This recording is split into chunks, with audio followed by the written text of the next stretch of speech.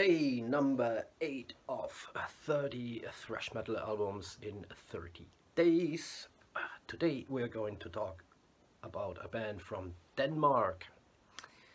Uh, you might have guessed right, we're talking about Artillery.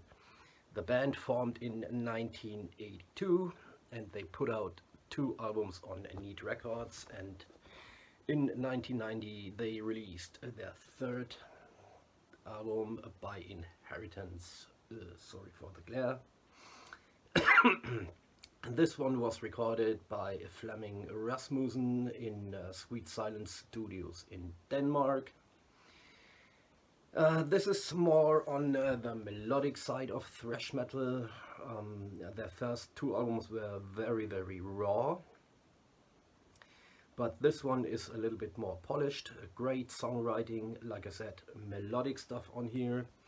Check out songs like uh, Khomaniac uh, the title track Back in the Trash um, even the Nazareth um, cover song of Razamanaz is pretty decent.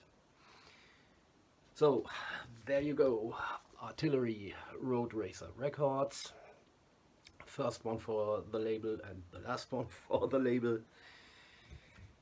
I quite like the artwork. The artwork is done by a guy called Kent Mathieu, US uh, cover artist who did some covers in the 80s and early 90s. He worked for Possessed, for example. He did uh, the Eyes of Horror and the Beyond the Gates cover. He worked for Forbidden, did a couple of uh, their album covers. Um, Exodus, Slaughter in the Vatican is also by Kent Mathieu.